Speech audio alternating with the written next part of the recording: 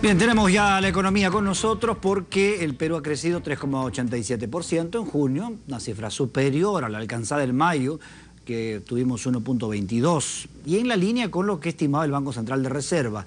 Estos datos los ha proporcionado el Instituto Nacional de Estadística.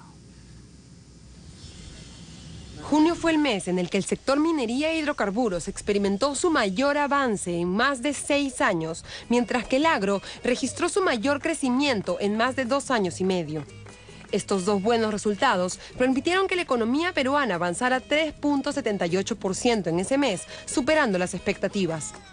El jefe del INEI, Aníbal Sánchez, detalló que a esos dos factores se sumaron el dinamismo del sector servicios y el sector comercio, así como el avance de 5% en la producción de electricidad y la recuperación aún ligera de las exportaciones pese a la caída de la pesca.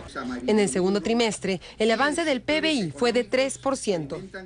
El comercio exterior peruano de alguna manera ha dado signos de recuperación. En mes de junio crece en 2,2%. En términos de el análisis de datos podemos señalar que ha sido un buen mes para la economía del país.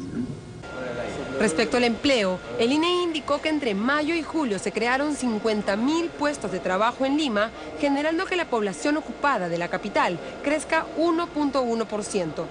Sin embargo, el desempleo casi no se ha reducido. En el trimestre mayo, junio y julio se presenta una tendencia creciente, se generan 50.000 nuevos puestos de trabajo, y fundamentalmente este incremento se da en jóvenes, se da mayormente con estudios universitarios y con estudios secundarios y en unidades económicas de 1 a 10 personas ocupadas. El ministro de Economía, Alonso Segura, señaló que las cifras del PBI confirman que la recuperación de la economía está en marcha, pero aún es frágil.